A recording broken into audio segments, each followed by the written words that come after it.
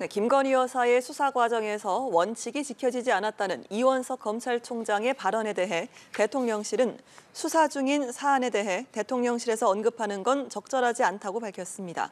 대통령실 관계자는 기자들과 만나 해당 발언과 관련해서 검찰 내부의 문제인 것 같다고 말했습니다. 또한 현직 대통령 부인이 검찰에 소환돼 대면 조사를 받은 건 전례가 없었다며 특혜라고 주장하는 것은 과도하다고 강조했습니다.